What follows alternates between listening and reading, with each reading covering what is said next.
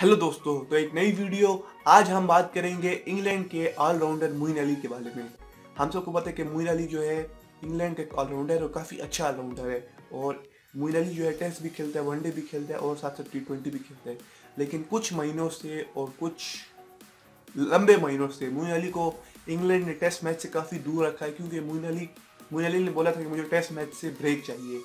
और मेरी सेंसेस में रेड बॉल मुझे समझ नहीं आ रहा। तो अब अली का स्टेटमेंट आया कि मैं 110 परसेंट रेडी हूँ टेस्ट मैच के लिए और मैं इंग्लैंड के लिए कभी भी टेस्ट मैच खेल सकता हूँ। अगर इंग्लैंड सेलेक्टर मुझे टेस्ट मैच के लिए सेलेक्ट करे तो मैं अपनी 110 परसेंट परफॉर्मेंस दूँगा और मैंने अपने आप को इतना फिट और इतना रेडी कर लिया है कि मैं इंग्लैंड के लिए टेस्ट मैच टेस्ट मैचेस के लिए अवेलेबल हूँ और अब मैं पूरा अपना 110 परसेंट दूँ कि मेरी परफॉर्मेंस टेस्ट मैच में अच्छी हो और मैं इंग्लैंड को अच्छा सर्व कर सकूँ एज ऑलराउंडर और इंग्लैंड मुझसे जहाँ भी काम ले टॉप ऑर्डर में काम ले टेल एंडर में काम ले, मुझसे बॉलिंग ओपनिंग करवाए डेप्थ में बॉलिंग कराए टेस्ट में मैं अवेलेबल हूँ। क्योंकि मैंने कुछ टाइम तक खाली वनडे और टी ट्वेंटी पे फोकस किया था, लेकिन मेरी उसमें भी परफॉर्मेंस काफ़ी ही गिर रही थी और एवरेज सी परफॉर्मेंस थी तो मैंने मैंने सोचा कि रेड बॉल पे भी काम किया जाए और अपने डिफेंस पे भी थोड़ा काम किया जाए। इसलिए मैंने अपने डिफेंस पे भी काफ़ी काम किया और अपनी हिटिंग एबिलिटी पे भी काफ़ी काम किया। और मेरी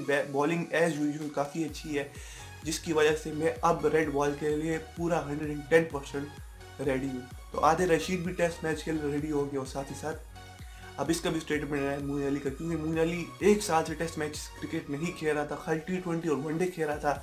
अब मोइन अली ने बोल दिया कि मैं रेड बॉल के लिए रेडी हूँ और मैं काउंटी भी खेल सकता हूँ, खेलूँगा।